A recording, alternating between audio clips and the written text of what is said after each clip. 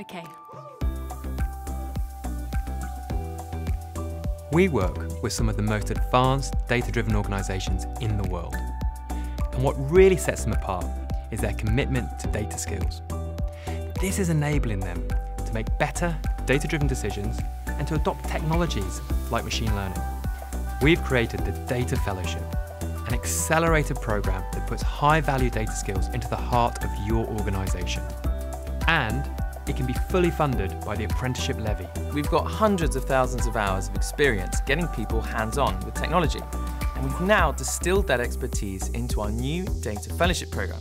It combines the best of self guided learning with expert coaching and mentoring, so every learner gets the best possible experience. And the best part is, it's project based, which means that every learner can directly apply the skills that they acquire from day one.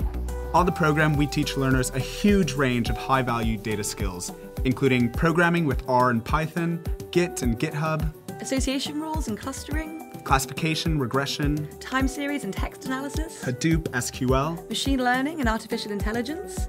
And to help embed all of these technical skills, we'll also be teaching things like data project management, visualization, agile ways of working, and data ethics. We are running our Data Fellowship program with dozens of organisations and hundreds of learners, all of whom will be graduating as professionally accredited data analysts. And what is incredibly exciting is that by developing in house data capabilities, we are already seeing massive change within these organisations.